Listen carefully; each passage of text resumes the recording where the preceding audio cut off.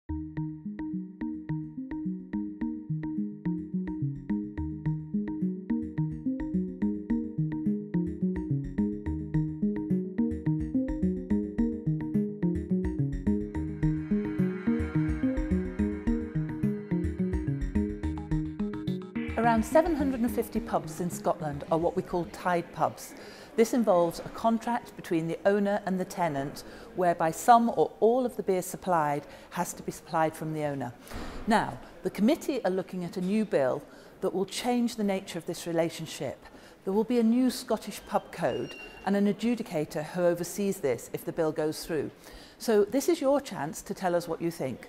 We want to hear from drink suppliers, from owners, from tenants, and we want to hear what you think of this bill. There's also a survey online, so help us to help you by getting this right. Let us know what you think.